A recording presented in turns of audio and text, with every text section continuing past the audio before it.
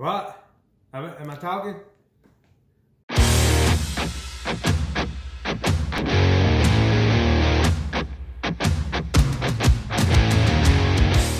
Hi y'all, welcome to the Mountain Kitchen. We are perfecting our pastrami recipe. Here we have a brisket flat and it's already been pretty trimmed by the butcher. We're gonna leave this fat cap on here. And we've made up a brine solution which it will be in the brine and in the refrigerator for a week. And we have this meat curing salt. Tender Quick is called. This is one of the most important ingredients you can put into your brine. So we'll see y'all in a week when we put this on the smoker.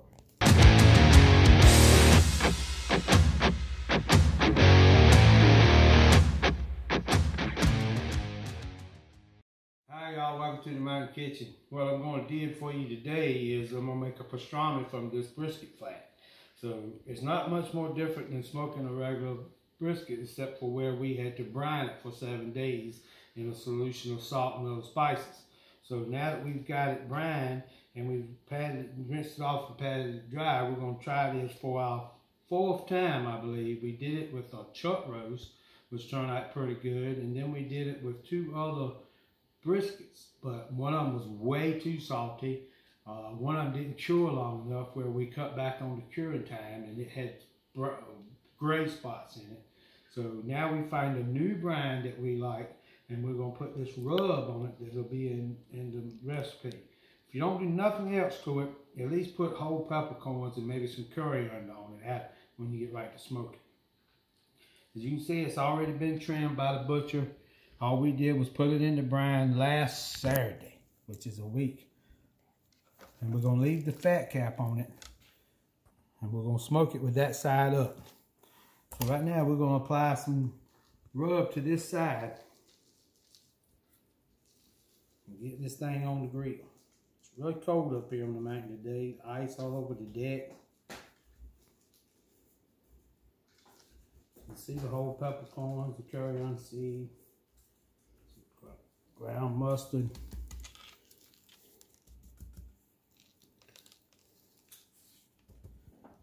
All right, so we got a nice, nice coating of rub on there. So we're gonna take it outside and put it on the Weber kettle. Welcome outside here in this snowy wonderland to the Weber kettle. We got it set up what was called the snake method. We're gonna be using a pan of water here. So we're gonna add some warm water to it. I recommend using the warm water so the grill don't have to take as long to heat it up. And if you have to add any water during your cook, make sure you heat the water. Never add cold water. That will cut your, cut your temperature of your grill down and increase your cooking time. So I'm going to be using the Thermoworks to monitor the meat temperature and the grill temperature. You can get that on the website in the link. I highly recommend it's a very good product. All right, here we go. We're gonna put this brisket on now. I know you, some of you wondering why we only rub the one side, because we wanna like put the meat on the grill. As you see, all the rub just fell off. We wanna make sure we get a good coat on it while it's on the grill. Once again, we're gonna be smoking this with the fat cap up just it really doesn't matter. Some people say it does. I just like to do it this way. I'm gonna be using maple wood. Smells amazing already. Get a nice coat on here. just to help form my bark.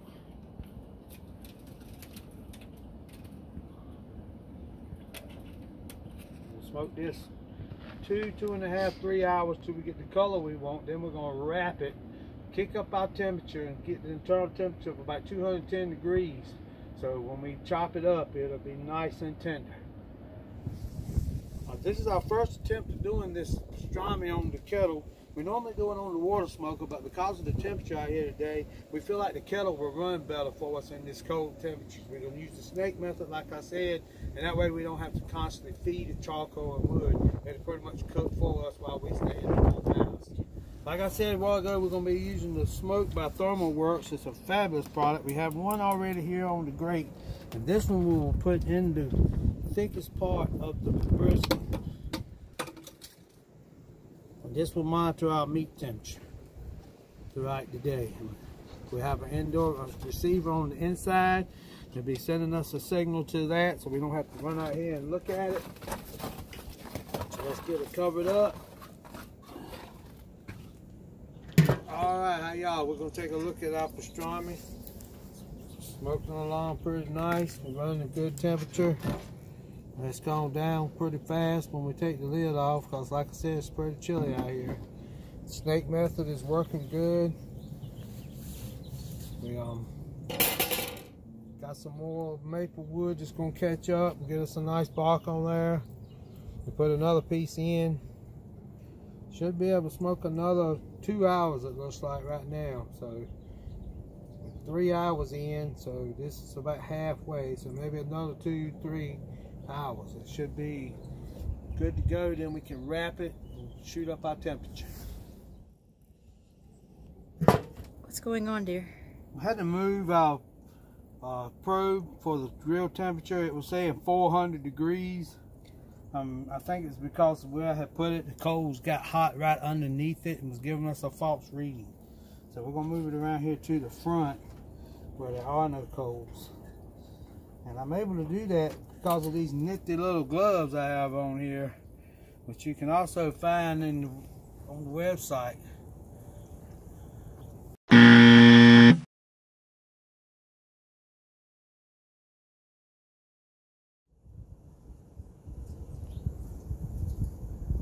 Hey y'all, we got an internal temp now of 166. It's pretty good and our bark is pretty a nice beautiful color on here. So we're gonna take it up now and wrap it up in tinfoil and then put it back on the grill. I got another pair of gloves on here. A cotton glove with a rubber glove over top of it makes handling meat really nice. We're gonna put it in the tinfoil and we're gonna wrap it as tight as we can.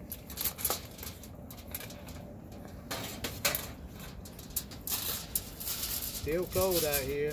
Smells amazing.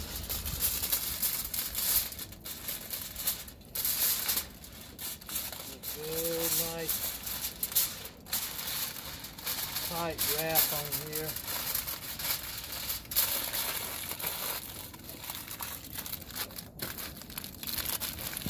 got it wrapped good. So we're gonna take our water pan out and uh, stoke up the grill, get the temperature up on the grill and get the temperature up on the meat. We're looking for 210 on the internal temp and then it should be nice and tender to pull apart and make a good sandwich. All right, got nice hot bed of coals here now we're gonna dump out. Put our meat back on. Get an internal temp of 210 degrees. Nice hot charcoal. Still really cold out here. The wind's blowing. Hot. Put our grate back on.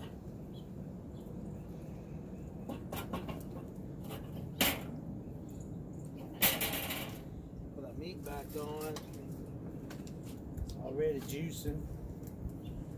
Put our probe back on here so we can monitor our temperature again.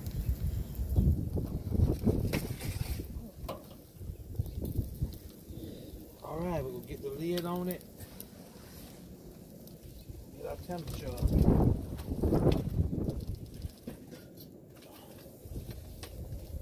Hopefully no more than 40, 45 minutes an hour, and then we'll be good to go. All right, y'all, here we go. We finally reached our goal temperature of uh, 210.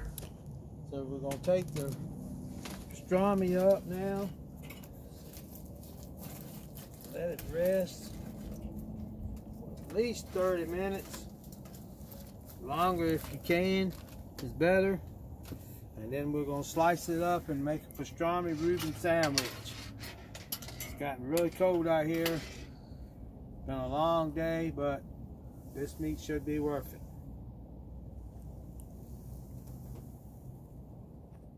All right, y'all, here we go. We've had our brisket resting, resting for about an hour now.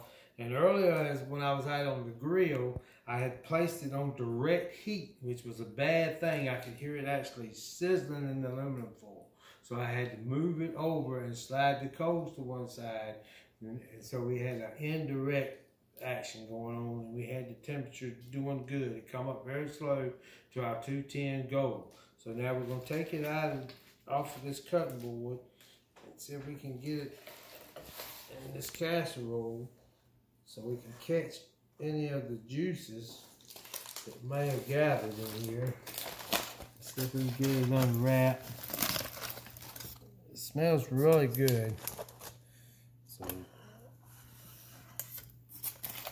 got it out here on our cutting board now. Let's see if we can get some slices off of it. It's really juicy, very tender. All right, let's get a taste on it.